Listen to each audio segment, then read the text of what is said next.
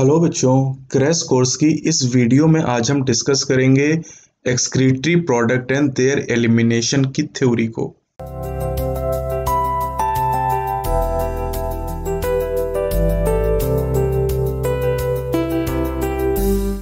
Hello बच्चों, Gangwar institute for NEET channel पे आपका स्वागत है। मैं हूँ डॉक्टर हरिओम गंगवार और बेटा हम यहाँ पर क्रैश कोर्स के बारे में डिस्कस कर रहे हैं। क्रैश कोर्स की ये आठवीं वीडियो है, जहाँ पर हम excretory product and their elimination chapter को डिस्कस करने वाले हैं। और शाम को पाँच बजे लाइव सेशन में इस चैप्टर के क्वेश्चन करने वाले हैं। अगर आप हमारे चैनल पर नए हैं तो चैनल को सब्सक्राइब करें लाइक करें शेयर करें और साथ ही बेल आइकन प्रेस करें, ताकि जब भी नई वीडियो मैं अपलोड करूँ, उसका नोटिफिकेशन आपको मिल जाए। तो अगर आप इस चैनल पर नए हैं तो आप ये जान लीजिए कि बेटा क्रैश कोर्स में हम सात चैप्टर अपलोड कर चुके हैं, जिनमें diversity in the living world के चार चैप्टर हैं और ह्यूमन फिजियोलॉजी के तीन चैप्टर डाइजेशन ब्रीदिंग और सर्कुलेशन हम अपलोड कर रहे हैं। आज हम एक्सक्रीशन के बारे में डिस्कस करने वाले हैं। तो चलिए सबसे पहले यहाँ पर देखिए कि अलग अलग तरह के एनिमल में ammonia, urea, uric acid, carbon dioxide, water और अलग अलग तरह के आयन जैसे sodium, potassium, chloride, phosphate, sulphate, इन सब्सटेंसेस को एकुमुलेट किया जाता बॉडी के अंदर इकट्ठा किया जाता है। अब ये सब्सटेंस आए कहाँ से? या तो यूरिया, यूरिक एसिड, इन सब का फॉर्मेशन मेटाबॉलिक एक्टिविटीज़ के द्वारा होगा। जब बॉडी में मेटाबॉलिज्म होगी तो ये प्रोड्यूस होंगे या फिर एक्सेस इंगेशन की वजह से बॉडी के अंदर पहुँचेंगे। एक्सेस इंगेशन मतलब ज़्यादा निगलने की वजह से। अब, ये जो सब्सटेंस हैं urea ammonia uric acid carbon dioxide और अगर एक्सेस वाटर है तो इन्हें बॉडी से रिमूव करना पड़ेगा पूरी तरह से या आंशिक तरीके से, यानी टोटली या पार्शली हमें रिमूव करना पड़ेगा, क्योंकि ये हमारी बॉडी के लिए हार्मफुल होंगे और इसलिए इन सब्सटेंस को एलिमिनेट करना पड़ेगा। इस चैप्टर में हम खास तौर से बात करेंगे एलिमिनेशन ऑफ़ नाइट्रोजनस वेस्ट के बारे में। जैसे अमोनिया, यूरिया, यूरिक एसिड, ये नाइट्रोजनस वेस्ट हैं। अब कार्बन डाइऑक्साइड में नाइट्रोजन नहीं है तो ये नाइट्रोजनस वेस्ट नहीं है। तो CO2 के रिमूवल को हम breathing and exchange of gases में पढ़ चुके हैं। तो यहाँ पर हमें नाइट्रोजनस वेस्ट के रिमूवल के बारे में पढ़ना है इस चैप्टर में। अब यहाँ पर अगर हम नाइट्रोजनस वेस्ट की बात करें तो अमोनिया यूरिया और यूरिक एसिड, ये मेजर नाइट्रोजनस वेस्ट है। और भी होते हैं, लेकिन ये तीन सबसे मेन हैं और इनका एक्सक्रीशन एनिमल के द्वारा किया जाता है। एक्सक्रीशन मतलब बॉडी से इनका रिमूवल किया जाता है। अब इन तीनों में से अमोनिया यूरिया और यूरिक एसिड में से अगर हम बात करते हैं तो यहाँ पर अमोनिया सबसे ज़्यादा टॉक्सिक फॉर्म है। अमोनिया इज़ मोस्ट टॉक्सिक और ये ज़्यादा टॉक्सिक तो इसके रिमूवल में सबसे ज़्यादा हमें पानी खर्च करना पड़ेगा। Large amount of water is required for its removal जबकि यूरिक एसिड की बात करें तो ये सबसे कम टॉक्सिक होता है और इसलिए इसके रिमूवल में सबसे कम पानी खर्च करने की ज़रूरत पड़ती है। तो ये आपसे खूब पूछा जाता है, इसको अच्छी तरीके से आप ध्यान रखेंगे। अब देखिए यहाँ पर, जो यूरिया का रिमूवल है the process of excreting ammonia जो अमोनिया का रिमूवल है, इसे अमोनोटेलिज्म कहा जाता है, और जो एनिमल अमोनिया का रिमूवल करते हैं, उन्हें अमोनोटेलिक कहते हैं। एग्ज़ाम्पल याद रखिएगा मेनी बोनीफिसेज जिन्हें आप कहते हैं ऑस्टिक थेज एक्वेटिक एम्फीबियन और एक्वेटिक इंसेक्ट अमोनोटेलिक नेचर के आप देखिए जरा कि जो एक्वेटिक एनिमल है वो अमोनोटेलिक होते हैं, क्योंकि अमोनिया के रिमोल में ज़्यादा पानी खर्च होता है। अब ये जो अमोनिया है, ये वाटर सॉलिबल है, ये आसानी से पानी में घुल जाती है और इसका जो एक्सक्रीशन है, ये डिफ्यूज़न के द्वारा होता है। डिफ्यूज़न के द्वारा या तो बॉडी सरफेस से होगा या गिल सरफेस से होगा, अगर फिशेस की बात करें। जैसे बोनी फ़िश है तो बोनी फ़िश में जो अमोनिया का रिमूवल होगा, वो गिल सरफेस से होगा, लेकिन अगर एक्वेटिक इंसेक्ट को देखें तो यहाँ पर बॉडी सरफेस से होगा। अमोनिया माइन के फॉर्म में ये खास बात है, अमोनिया माइन के फॉर्म में अमोनिया का रिमूवल किया जाएगा और किडनी अमोनिया के रिमूवल में कोई इम्पोर्टेंट रोल प्ले नहीं करती। Do not play any significant role in its removal. अब बात करते हैं टेरेस्ट्रियल ऑर्गेनिज्म के बारे में। देखिए, टेरेस्ट्रियल ऑर्गेनिज्म में पानी को बचाने की ज़रूरत पड़ेगी और पानी को बचाने के लिए वो अलग अलग तरह के और लेसर टॉक्सिक नाइट्रोजनस वेस्ट का फॉर्मेशन करेंगे। क्योंकि नाइट्रोजनस वेस्ट जितना ज़्यादा टॉक्सिक होगा, उसके रिमूवल में वाटर उतना ही ज़्यादा खर्च होगा। तो टेरेस्ट्रियल एडॉप्टेशन में लेसर टॉक्सिक नाइट्रोजनस वेस्ट बनाने की ज़रूरत पड़ी, जैसे यूरिया और यूरिक एसिड और यूरिया और यूरिक एसिड कम टॉक्सिक हैं तो इससे पानी को हम कंजर्व कर पाएँगे। इनके रिमूवल में कम पानी खर्च होगा, जबकि अमोनिया के रिमूवल में बहुत ज़्यादा पानी खर्च होता है। तो अब देखिए मैमल जैसे हम लोग many terrestrial amphibian and marine fishes urea को एक्सक्रीट करते हैं। इस प्रोसेस को यूरियोटेलिज्म कहा जाता है और इन एनिमल को यूरियोटेलिक एनिमल कहा जाता है।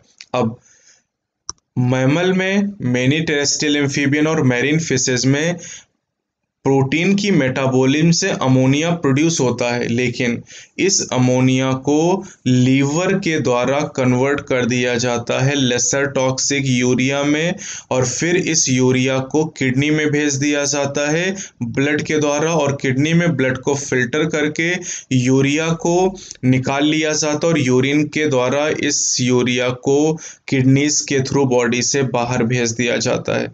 साथ ही साथ कुछ अमाउंट में जो यूरिया है उसे किडनी मैट्रिक्स में मेंटेन किया जाता है ऑस्मोलरिटी को मेंटेन करने के लिए। यह भी काउंटर करेंट मैकेनिज्म जो हम पढ़ेंगे, तब आपको समझ में आ जाएगा। अब देखिए रेप्टाइल बर्ड और लैंड स्नेल इंसेक्ट की बात करें तो इनमें जो नाइट्रोजनस वेस्ट है, ये यूरिक एसिड होता है।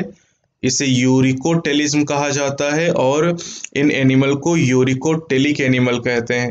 यूरिक एसिड सबसे कम टॉक्सिक है, इसलिए यहाँ पर मिनिमम लॉस ऑफ़ वाटर होता है और यूरिक एसिड का रिमूवल पेलेट या पेस्ट के फॉर्म में किया जाता है। यानी आप कह सकते हैं यहाँ पर सॉलिड यूरिन का रिमूवल होता है, यानी यहाँ पर वाटर का सबसे कम लॉस होता है। अब देखिए कौन कौन से टॉपिक यहाँ पर आपको पढ़ने हैं इस चैप्टर में। एक बार एक ओवरव्यू देख लेते हैं यहाँ पर। टॉपिक देख लीजिए आप। पहला टॉपिक ह्यूमन एक्सक्रीटरी सिस्टम यहाँ पर है जो हमें डिस्कस करना है।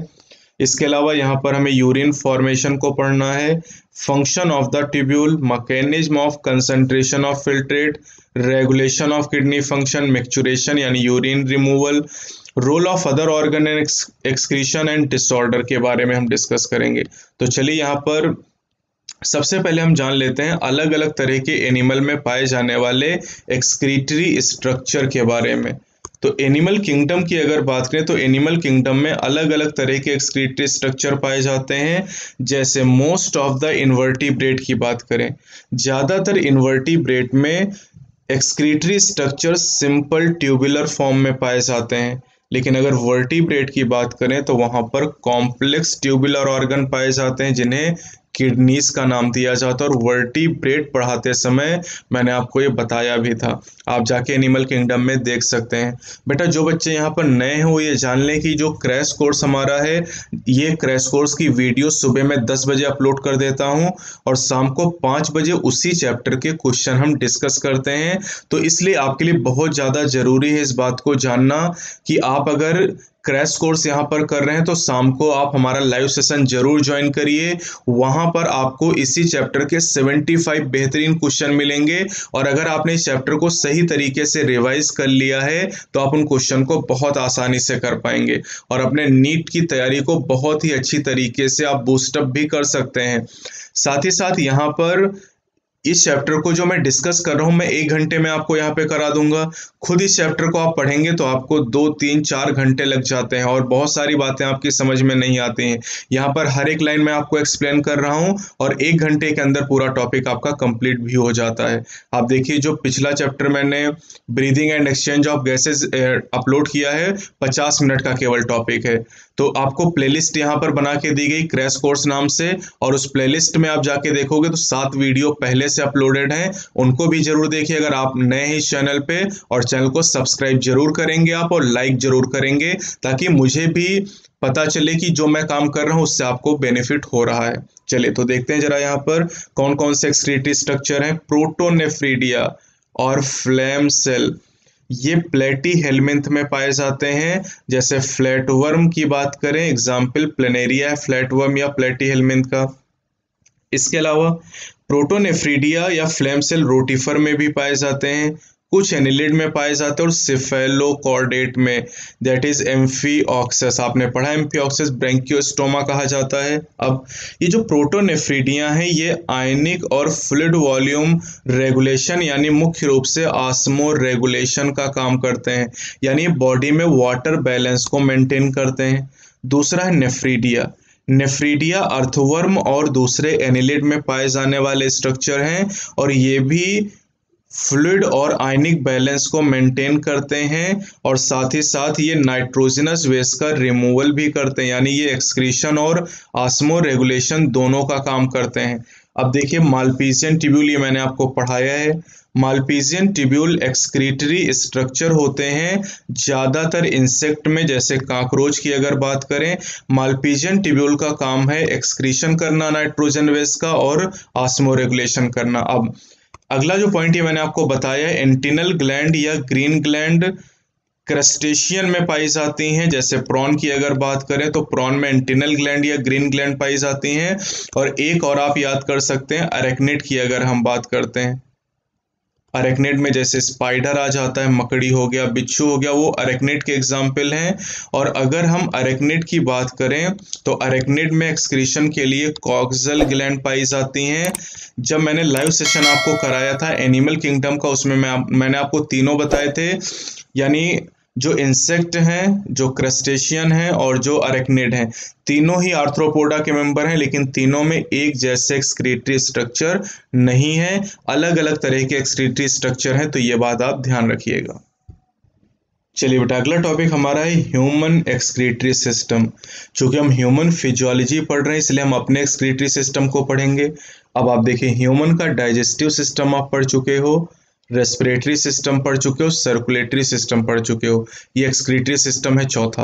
अब डाइजेस्टिव सिस्टम के दो पार्ट आपने पढ़े थे रेस्पिरेटरी सिस्टम के दो पार्ट आपने पढ़े सर्कुलेटरी सिस्टम के तीन पार्ट होते हैं और एक्सक्रीटरी सिस्टम के चार पार्ट होते हैं।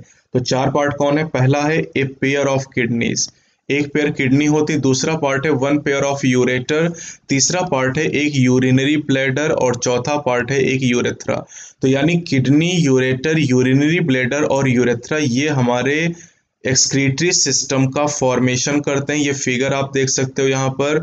इस फिगर में आपको ह्यूमन का एक्सक्रीटरी सिस्टम दिखाया गया या आप इसे यूरिनरी सिस्टम कह सकते हैं, जहाँ पर आपको किडनी दिखाई गई हैं। यूरेटर दिखाया गया है, यूरिनरी ब्लैडर आपको दिखाया गया है और यूरेथ्रा दिखाया गया है। तो इन्हीं चारों को मिला के हम ह्यूमन का एक्सक्रीटरी सिस्टम कहते हैं। अब इन चारों पार्ट के बारे में सबसे पहले हम किडनी के बारे में डिस्कस करेंगे। किडनी की अगर बात की जाए तो kidney are reddish brown coloured. ये रेडिस ब्राउन कलर का स्ट्रक्चर बीन सेप्ड ये बीन के शेप के होते हैं, यानी जो सेम होता है उसके आकार की होती हैं और इनकी लोकेशन बहुत ज़रूरी है। किडनी की लोकेशन होती between the level of last thoracic and third lumbar vertebra last thoracic to third lumbar last thoracic का मतलब है टी ट्वेल्व और थर्ड नंबर मतलब एल थ्री तो जो किडनीज होती हैं, ये टी ट्वेल्व और एल थ्री के बीच में पाई जाती हैं। टी ट्वेल्व से लेकर एल थ्री के बीच में इनकी लोकेशन होती है, ये आपको याद करना है। Close to dorsal inner wall of abdominal cavity आपने देखा कि हमारे जो लंग्स होते हैं हर्ट है, वो थोरेसिक कैविटी में स्टमक इंटेस्टाइन लीवर किडनीज ये सारे स्प्लीन ये सब एब्डोमिनल कैविटी में पाए जाने वाले स्ट्रक्चर हैं। बेटा, साथ में रिवाइज मैं इसलिए करा रहा हूँ ताकि पुराने टॉपिक के साथ आप इसे लिंक कर पाए।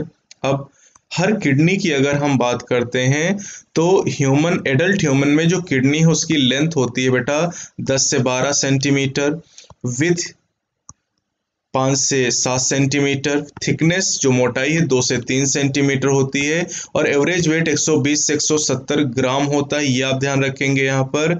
अब, अगर हम बात करते हैं इनर कॉन्क्यो सरफेस की तरफ़ तो किडनी में एक नौच, एक खांच पाई जाती है, जिसे हाइलम कहा जाता है, और हाइलम के थ्रू यूरेटर, ब्लड वेशल और नर्व एंटर करती हैं। फिगर में आपको मैं दिखाता हूँ, यहाँ पर आपको जो इनर सरफेस पे नौच दिखाई गई, यहाँ पर जो नौच है, इसी को हाइलम कहा जाता है, और यहीं से आप देखिए कि जो ब्लड वेशल आर्टरी और वेन है, ये एंटर करती हैं, और यूरेटर यहीं से राइज करता है। तो वही पॉइंट यहाँ पर आपको दिया गया, through which ureter, blood vessel and nerve enter. अब हाइलम के अंदर अगर हम बढ़ेंगे तो हाइलम के अंदर एक ब्रॉड फनल सेप स्पेस होता है, जिसे रेनल पेल्विस कहा जाता है। और रेनल पेल्विस में कई सारे प्रोजेक्शन पाए जाते हैं, जिन्हें कैलिसिस कहा जाता है सिंगुलर फॉर्म में कैलिक्स कहा जाता है। तो अभी अगले पेज पे एक फिगर आपको दिया गया, उसमें आपको ये क्लियरली दिखाया गया है कैलिसिस के बारे में। ये आप फिगर देख सकते हैं यहाँ पर। इस फिगर में आपको दिखाया गया है कि जो कैलिक्स यहाँ पर लिखा हुआ है ये देखिए कैलिक्स जो यहाँ पर आपको दिया गया है, ये कैलिक्स आपको दिखाए गए इस तरीके से रीनल पेल्विस आपको दिखाएगी ये देखिए। तो जब आप कॉन्केव सरफेस के अंदर बढ़ते हैं तो आपको स्पेस नज़र आता है, जिसे रीनल पेल्विस कहते हैं, और ये रीनल पेल्विस में जो इस तरीके प्रोजेक्शन आपको दिखाए गए हैं, इन प्रोजेक्शन को कैलिक्स के नाम से जाना जाता है। अब देखिएगा, जो किडनी की आउटर लेयर होती है ये एक टफ कैप्सूल के द्वारा घिरी होती है, जिसे रीनल कैप्सूल कहा जाता है। किडनी के अंदर दो जोन पाए जाते हैं आउटर जोन को कॉर्टेक्स कहते हैं और इनर को मेडुला के नाम से जाना जाता है। जो मेडुला है, ये डिवाइडेड होता है कोनिकल मासेस में, जिन्हें मेडुलरी पिरामिड कहा जाता है और ये मेडुलरी पिरामिड कैलिसिस के ऊपर लगे रहते हैं। अब इस, इसे फिगर में आप देख लीजिए यहाँ पर। आप किडनी की कवरिंग को अगर यहाँ पर देखेंगे तो आप देख रहे हैं कि यहाँ पर रीनल कैप्सूल के द्वारा किडनी की कवरिंग है। आउटर पार्ट जो आपको दिखाया गया दैट इज़ कॉर्टेक्स और इनर इनर पार्ट जो है मेडुला है और मेडुला मेडुलरी पिरामिड के फॉर्म में। तो ये जो स्ट्रक्चर आपको दिखाया गया, ये मेडुलरी पिरामिड है और अगर आप इस पिरामिड को ध्यान से देखेंगे तो आपको पता चलेगा, ये देखिए, ये पिरामिड है इतना पार्ट और ये पिरामिड किसके ऊपर लगा हुआ है? ये कैलिक्स के ऊपर लगा हुआ देखिए, ये पार्ट कैलिक्स है इतना और ये देखिए मेडलरी पिरामिड है। तो जो मेडलरी पिरामिड है, वो कैलिक्स के ऊपर लगे होते हैं। अब आप देखिए, जो कॉर्टेक्स रीजन है, ये वाला कॉर्टेक्स रीजन है। कॉर्टेक्स दो मेडलरी पिरामिड के बीच में धसा हुआ, ये देखिए। कॉर्टेक्स मेडलरी पिरामिड के बीच में इंसर्ट कर जाता है और इसे रीनल कॉलम कहा जाता है। तो रीनल कॉलम कॉर्टेक्स का वो पार्ट है जो मेडलरी पिरामिड के बीच में एक्सटेंड कर जाता cortex extend in between the medullary pyramid as renal column renal column जिन्हें कहा जाता है कॉलम्स ऑफ़ बर्टिनी तो चाहे आप इन्हें रीनल कॉलम कहिए और चाहे कॉलम ऑफ़ बर्टिनी आप इन्हें कह सकते हैं। अब ह्यूमन में वन पेयर किडनीज पाई जाती हैं और अगर हम एक किडनी की बात करें तो हमारी एक किडनी में एक मिलियन ध्यान दीजिएगा, एक मिलियन यानी दस लाख कॉम्प्लेक्स ट्यूबुलर स्ट्रक्चर होते हैं जिन्हें नेफ्रॉन कहा जाता है। हमारी एक किडनी में 10 लाख नेफ्रॉन है, यानी दोनों किडनी में मिला के 20 लाख नेफ्रॉन हो जाएँगे और इन्हें फंक्शनल यूनिट कहा जाता है। तो किडनी फंक्शनल किडनी की जो फंक्शनल यूनिट है, वो नेफ्रॉन है। न्यूरल सिस्टम की फंक्शनल यूनिट को न्यूरॉन कहा जाता है। अब एक नेफ्रॉन के दो पार्ट होते हैं। एक को कहा जाता है ग्लोमेरुलस और दूसरे को रीनल ट्यूब्यूल के नाम से जाना जाता है। अब जो ग्लोमेरुलस है ये क्या है, जरा देखिए। ग्लोमेरुलस है टफ्ट ऑफ़ कैपिलरीज, यानी ये कैपिलरीज का गुच्छा है। कैपिलरीज क्या है? ब्लड वेसल होती हैं। तो कैपिलरीज का गुच्छा ग्लोमेरुलस होता है, जो कि बना होता है एफ्रेंट आर्टीरियोल से। ग्लोमेरुलस एफरेंट आर्टेरियल से बना। एफरेंट आर्टेरियल क्या है? This is a fine branch of renal artery ये रेनल आर्टरी की एक बहुत पतली सी ब्रांच है, जैसे यहाँ पर आप देख सकते हैं। ये रेनल आर्टरी आपको दिखाई गई, और रेनल आर्टरी की पतली ब्रांच को एफरेंट आर्टेरियल कहा जाता है, और यही एफरेंट आर्टेरियल ग्लोमेरुलस का फॉर्मेशन करता है। ब्लड को अवे ले जाने का काम इफ्रेंट आर्टीरियोल के द्वारा किया जाता है, यानी ग्लोमेरुलस की तरफ़ ब्लड कौन लेके आता है? एफ्रेंट आर्टीरियोल और ले कौन जाता है? Efferent E for efferent E for exit यानी ग्लोमेरुलस से ब्लड अवे ले जाने का काम इफ्रेंट आर्टीरियोल के द्वारा किया जाता है। फिगर में जरा आप देखेंगे यहाँ पर तो आपको सारी चीज़ें नज़र आ जाएँगी। ये देखिए आपको यहाँ पर ये ग्लोमेरुलस दिखाया गया है दैट इज़ ग्लोमेरुलस जो कि टफ्ट है, पूरा गुच्छा यहाँ पर बना हुआ इस तरीके से। और ये देखिए दैट इज़ एफरेंट आर्टेरियल जो ब्लड को ग्लोमेरुलस की तरफ़ लेके आती है। और ये देखिए, ये इफ्रेंट आर्टेरियल आपको दिखाई गई है, जो ब्लड को ग्लोमेरुलस से अवे ले जाने का काम करती है। बात बहुत ज़्यादा इंपॉर्टेंट है। अच्छी तरीके से इसे आप ध्यान रखेंगे। अब देखिए, जो रीनल टिब्यूल है रीनल टिब्यूल की शुरुआत होती है, पहला पार्ट आपका ग्लोमेरुलस हो गया। नेफ्रॉन का जो दूसरा पार्ट हो रेनल टिब्यूल इसकी शुरुआत होती है। Double walled cup like structure से जिसे बोमेन कैप्सूल के नाम से जाना जाता है।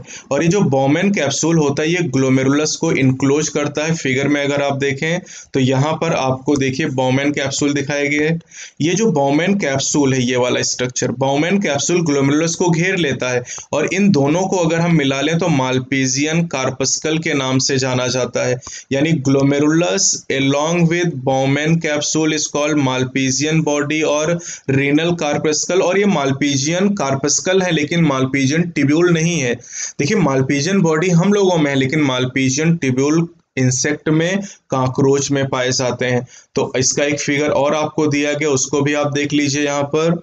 ये मालपीजियन बॉडी या रीनल कार्पस्कल का फिगर है, जिसमें आपको ये ग्लोमेरुलस दिखाया गया है और ये बोमेन कैप्सूल आपको दिखाया गया है। तो इन्हीं को मिला के, इन्हीं को मिला के यहाँ पर मालपीजियन बॉडी या रीनल कार्पस्कल या मालपीजियन कार्पस्कल के नाम से जाना जाता है। तो टिब्यूल का जो पहला पार्ट हो गया रीनल टिब्यूल का पहला पार्ट है बोमेन कैप्सूल अब बोमेन कैप्सूल के आगे का जो हिस्सा है, उसे कहते हैं प्रॉक्सिमल कॉन्वल्यूटेड टिब्यूल जो कि हाईली क्वाइल्ड होता है। तो जो बॉमेन कैप्सूल है, ये ओपन करता है प्रॉक्सिमल कॉन्वल्यूटेड टिब्यूल में, जो कि हाईली क्वाइल्ड पोर्शन होता है। ये फिगर में आपको यहाँ पर दिखाया भी गया है। That is proximal convoluted tubule अब जो प्रॉक्सिमल कॉन्वल्यूटेड टिब्यूल है, ये आगे चल के ओपन होता है हेनलेज लोप में। हेनलेज लोप ओपन होता है distal convoluted tubule DCT region में। और यहाँ पर जो डीसीटी है, ये आपका आखिरी पार्ट होता है नेफ्रॉन का। तो नेफ्रॉन में जो दो पार्ट आपको बताए गए, पहला पार्ट ग्लोमरुलस दूसरा renal capsule renal caps renal sorry renal tubule जो रीनल टिब्यूल उसके चार पार्ट हो गए बॉमेन कैप्सूल पीसीटी हेनलेज लोप और डीसीटी ये चार रीजन यहाँ पर हो जाएँगे। तो चलिए पीसीटी के आगे हम बढ़ते हैं। पीसीटी के बाद जो दूसरा स्ट्रक्चर आपको मैंने बताया दैट इज़ हेनलेज लोप और हेनलेज लूप होता है हेयर पिन सेप चिमटी के आकार का होता है हेनलेज लूप और ये हेनलेज लूप रीनल टिब्यूल का अगला पार्ट है, तीसरा पार्ट है। पहला पार्ट बॉमेन कैप्सूलिनल टिब्यूल का दूसरा पार्ट पीसीटी और तीसरा हेनलेज लूप हो जाएगा। हेनलेज लूप में दो लिम्ब पाई जाती है, एक को डिसेंडिंग कहते हैं और एक को असेंडिंग लिम्ब के नाम से जाना जाता है। फिगर में भी आप चाहें तो देख सकते हैं। इस फिगर में देखिए, आपको दिखाई गई है that is descending limb of the loop of Henle और ascending limb of loop of Henle ये डिसेंडिंग है और ये असेंडिंग लिम्ब आपको दिखाई गई है। अब जो असेंडिंग लिम्ब होती है लूप ऑफ़ हेनले की, ये दूसरे हाईली क्वाइल ट्यूबुलर रीजन में ओपन करती, जिसे डिस्टल कॉन्वोल्यूटेड ट्यूब्यूल या डीसीटी कहा जाता है। और जो डीसीटी है, ये नेफ्रॉन का आखिरी पार्ट है।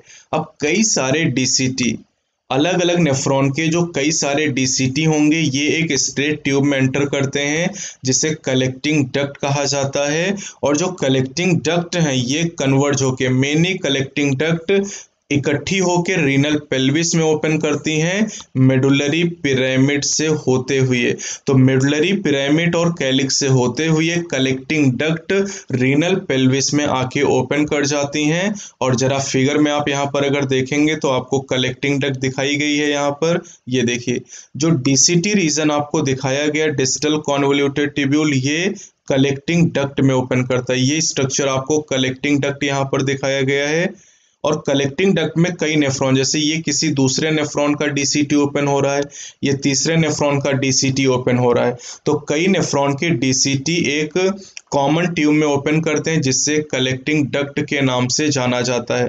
अब ध्यान दीजिएगा यहाँ पर, आपने दो पार्ट पढ़े नेफ्रॉन के, एक पढ़ा ग्लोमेरुलस दूसरा रीनल टिब्यूल रीनल टिब्यूल के आपने चार पार्ट पढ़े, एक आपने पढ़ा बॉमेन कैप्सूल दूसरा पीसीटी तीसरा है, लेज लूप, चौथा डीसीटी अब जो मालपीजियन कार्पस्कल है, मालपीजियन कार्पस्कल में ग्लोमेरुलस आ गया बॉमेन कैप्सूल आ गया पीसीटी और डीसीटी ये रीजन नेफ्रॉन में नेफ्रॉन की ये part cortex region of kidney में पाए जाते हैं। इसे कॉर्टिकल रीजन भी कहा जाता है और cortex outer region medulla inner region जबकि लूप ऑफ़ हेनले की बात करें या हेनलेज लूप ये मेडुला रीजन में डिप करता है। तो ये बात बहुत अच्छे से ध्यान रखें और इतना मत याद करें केवल आप लूप ऑफ़ हेनले को याद रखिए, वो मेडुला में है, बाकी सारे पार्ट नेफ्रॉन के कहाँ पर पाए जाते हैं? कॉर्टेक्स में पाए जाते हैं। अब, ज़्यादातर नेफ्रॉन की बात करें, इन मेजोरिटी ऑफ़ नेफ्रॉन ज़्यादातर नेफ्रॉन में लूप ऑफ़ हेनले बहुत ही छोटी होती है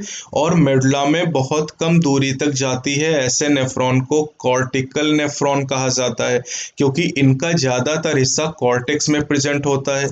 लेकिन कुछ नेफ्रॉन ऐसे होते हैं, सम ऑफ़ द नेफ्रॉन ऐसे होते हैं जिनमें लूप ऑफ़ हेनले काफ़ी लंबी होती है और ये मेडुला के अंदर गहराई तक पहुँच जाती इन्हें जक्स्टा मेडुलरी नेफ्रॉन कहा जाता है। तो हमारे नेफ्रॉन दो तरह के हैं cortical nephron and juxtamedullary nephron अब देखिएगा यहाँ पर।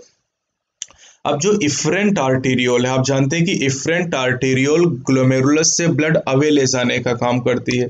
तो जो इफ्रेंट आर्टीरियोल है, ये ग्लोमेरुलस से इमर्ज करती है और एक कैपिलरी का नेटवर्क बनाती है रीनल टिब्यूल के चारों तरफ़।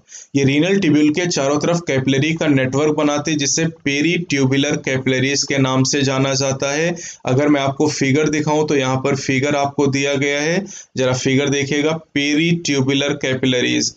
आप देखेंगे कि यहाँ पर जो फ्रंट आर्टीरियोल है ये फ्रंट आर्टीरियोल और ये फ्रंट आर्टीरियोल देखिए, पूरा एक नेटवर्क बना रही है यहाँ पर, चारों तरफ़ नेफ्रॉन के तो इसी नेटवर्क को कहा जाता है पेरी ट्यूबुलर कैपिलरीज इसका नाम है पेरी ट्यूबुलर कैपिलरीज अब इस पेरी ट्यूबुलर कैपिलरीज का वो हिस्सा जो कि आप देखिए यहाँ पर हेनलेज लूप के अराउंड है। ये हेनलेज लूप है जो येलो कलर से दिखाई गई है।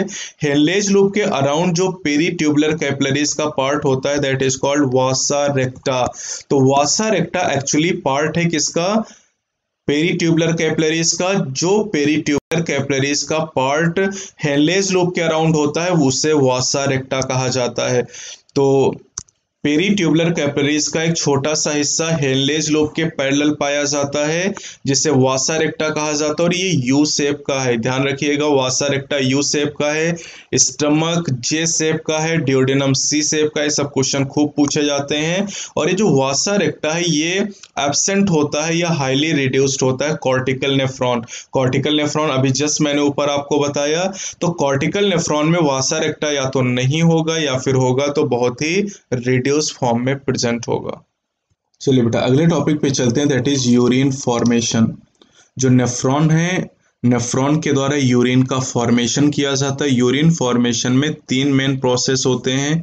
पहला है ग्लोमेरुलर फिल्ट्रेशन दूसरा है रीएब्जॉर्प्शन और तीसरा है सिक्रीशन और ये नेफ्रॉन के अलग अलग पार्ट में होते हैं। तो चलिए, पहले स्टेप से हम शुरुआत करते हैं। जो पहला स्टेप है यूरिन फॉर्मेशन का that is filtration of blood और इसी को ग्लोमेरुलर फिल्ट्रेशन कहा जाता है, क्योंकि ये पार्ट पहला जो स्टेप है, ये ग्लोमेरुलस के द्वारा किया जाता है, इसीलिए इसे ग्लोमेरुलर फिल्ट्रेशन किया जाता है। अब एक मिनट में किडनी के द्वारा 1100 से 1200 सौ ब्लड को फ़िल्टर किया जाता है।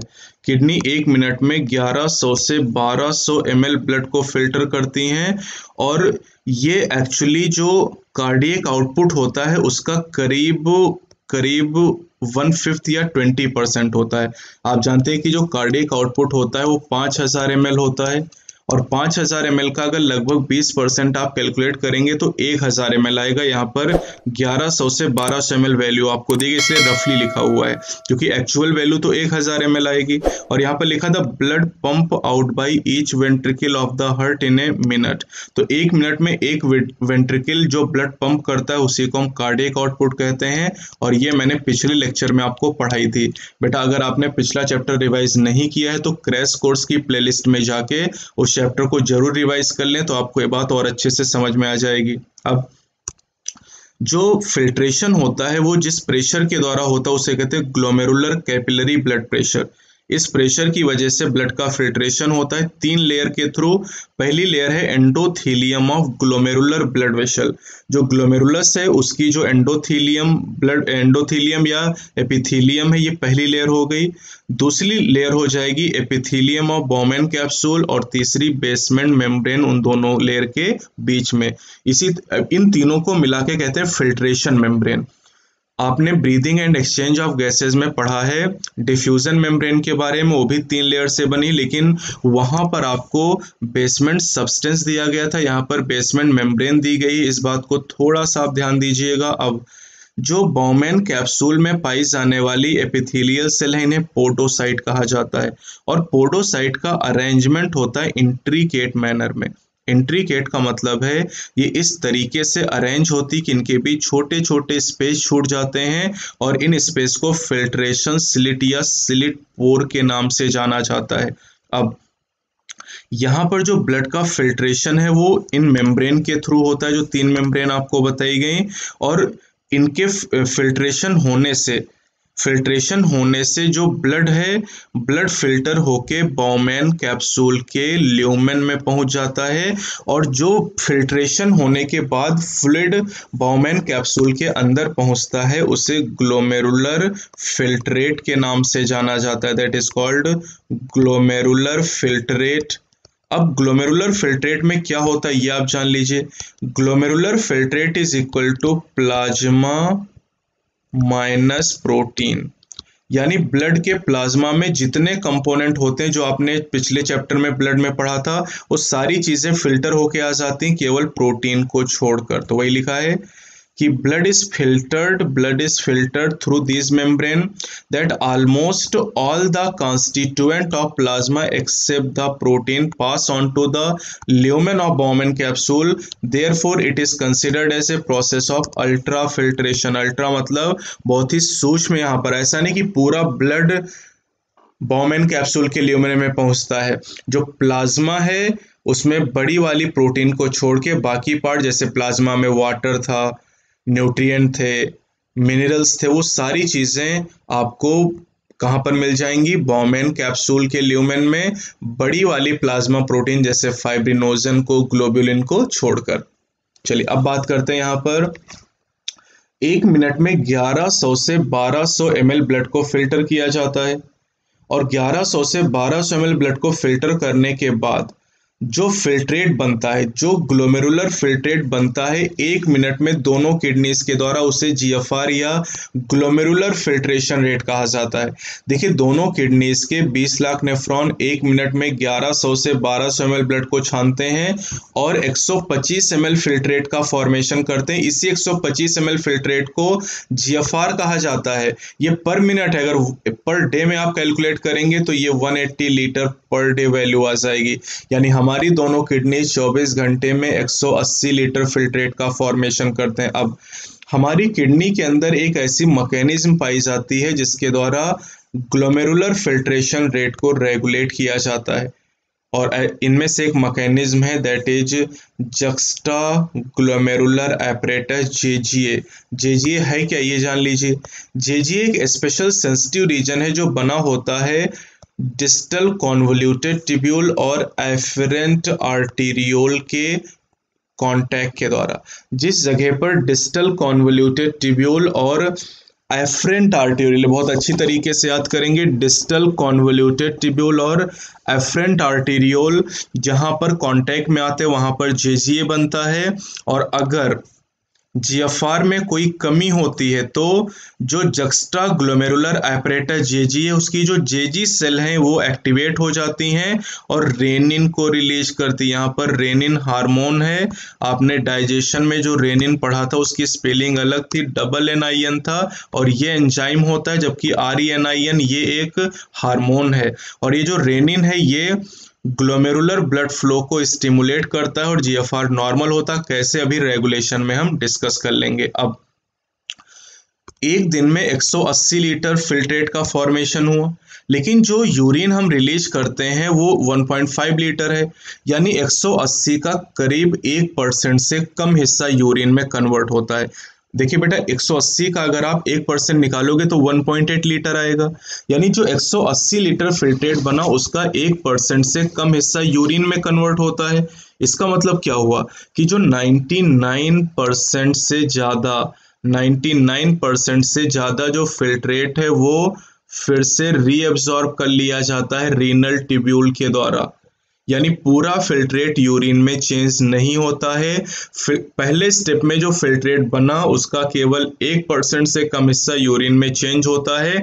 99 परसेंट को रीअब्जॉर्ब कर लिया जाता है। तो दूसरा जो स्टेप है यूरिन फॉर्मेशन में दैट इज़ रीअब्जॉर्प्शन अब जो रीअब्जॉर्प्शन है, ये रीनल टिब्यूल की एपिथेलियल सेल करती हैं और ये अलग अलग पार्ट में अभी हम पढ़ेंगे पीसीटी हो गया इसके अलावा डीसीटी रीजन हो जाएगा हेनलेज लोप हो जाएगा, ये अलग अलग पार्ट नेफ्रॉन के एक्टिव या पैसिव मैकेनिज्म के द्वारा रीएब्जॉर्प्शन का काम करते हैं। जैसे एग्ज़ाम्पल के तौर पे आप याद रखेंगे ग्लूकोज अमीनो एसिड और सोडियम इनका रीअब्जॉर्प्शन एक्टिव मैकेनिज्म से होता है, जबकि नाइट्रोजनस वेस्ट का रीअब्जॉर्प्शन पैसिव ट्रांसपोर्ट के द्वारा होता है।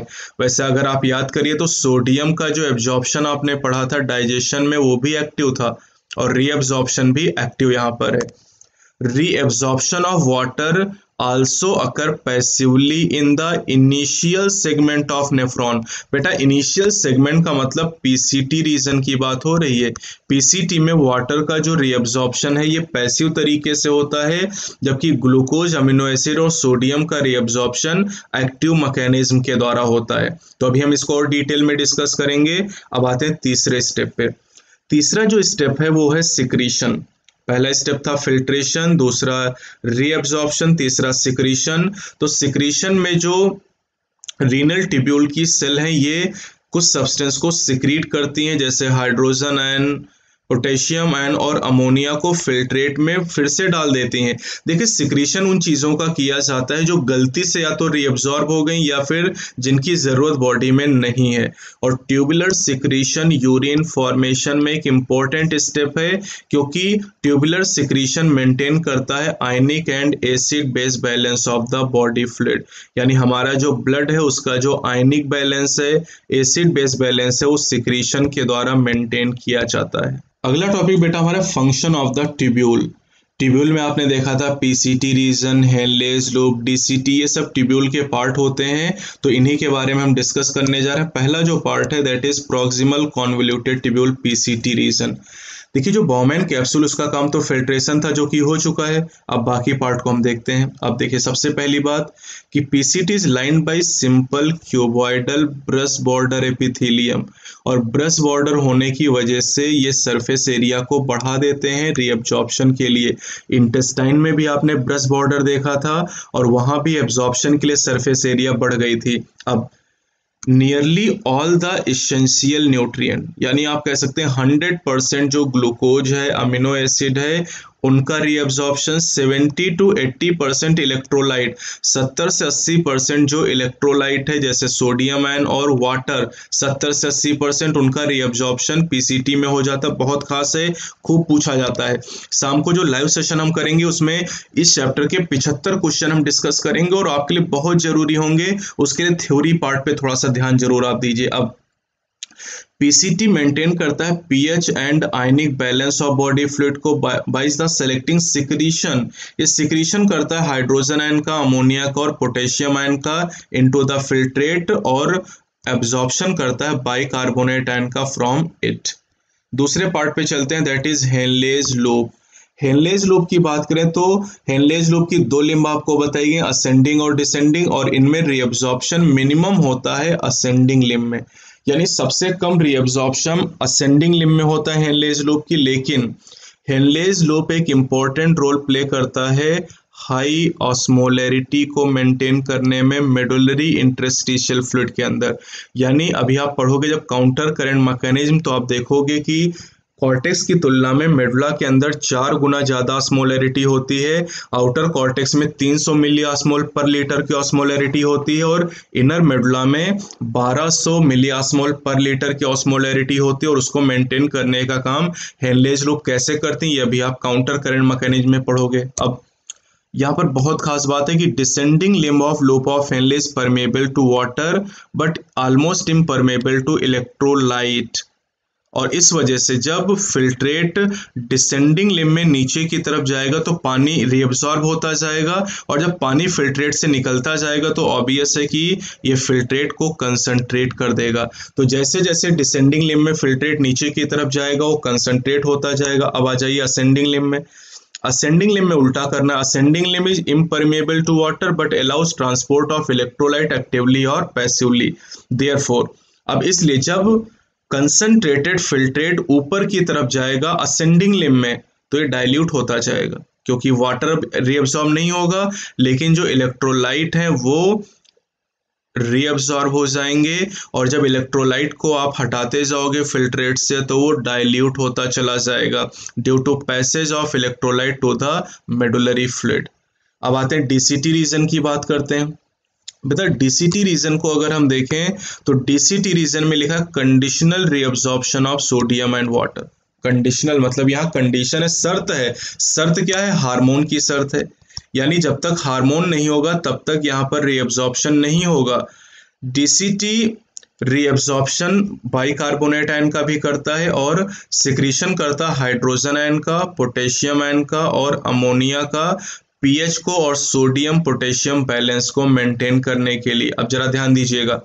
हार्मोन की बात मैंने यहाँ पर की, अभी हम रेगुलेशन में पढ़ेंगे, लेकिन अभी जान लीजिए कि सोडियम के रीअब्जॉर्प्शन के लिए एक हार्मोन की ज़रूरत है, एल्डोस्टेरॉन, जो कि एडिनल कॉर्टेक्स से निकलता है, और वाटर के रीअब्जॉर्प्शन के लिए ज़रूरत होगी एडीएच की, जिसका सिक्रीशन होता है पोस्टीरियर पिट्यूटरी से। तो इसको अभी आगे हम चल के डिस्कस करेंगे।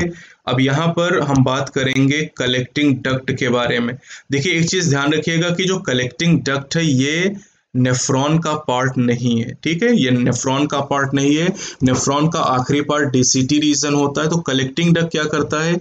कलेक्टिंग डक कॉर्टेक्स से लेके मेडुला तक एक्सटेंड करता है। कॉर्टेक्स से लेके मेडुला के इनर पार्ट तक एक्सटेंड करता है और कलेक्टिंग डक में large amount of water reabsorb होता है। और इस तरीके से कंसंट्रेटेड यूरिन बनती है। यूरिन टर्म हम पहली बार कलेक्टिंग डक्ट में यूज़ करते हैं। साथ ही साथ इस रीजन से स्मॉल अमाउंट में यूरिया निकलता है, जो कि मेडलरी इंट्रेस्टिशियम में पहुँचता है और ये ऑस्मोलरिटी को मेंटेन करने के लिए ज़रूरी। जस्ट अगला जो टॉपिक है mechanism of concentration of filtrate उसमें हम इसे डिस्कस करेंगे। साथ ही साथ ये रीजन पीएच को मेंटेन करने में और साथ ही साथ आयनिक बैलेंस को मेंटेन करने में इंपॉर्टेंट रोल प्ले करता है by selective secretion of hydrogen and potassium ion अब फिगर में जरा आप देखिएगा। फिगर में एनसीईआरटी ने यहाँ पर सारी चीज़ें आपको दिखाई। अब इस फिगर को पढ़ना आपको आना चाहिए। देखिए, इस फिगर में आपको क्या कहा गया है? आप जरा देखिएगा पीसीटी रीजन को।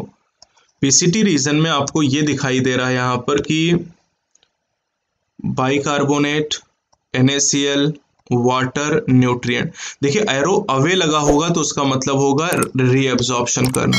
एरो अवे है तो एब्जॉर्प्शन होगा A for away A for absorption और अगर एरो टूवर्ड्स लगा हुआ है तो इसका मतलब होता है सिक्रेशन तो आप देखिए पीसीटी रीजन में आप देखेंगे तो हाइड्रोजन आयन अमोनिया का और पोटेशियम गलत एनसीईआरटी ने फिगर में लगाया है। ये एक्चुअली पोटेशियम आयन में एरो टूवर्ड्स लगा होना चाहिए था, अवे लगा दिया गया, अवे बता रहा है रीअब्जॉर्प्शन को जो कि गलत है।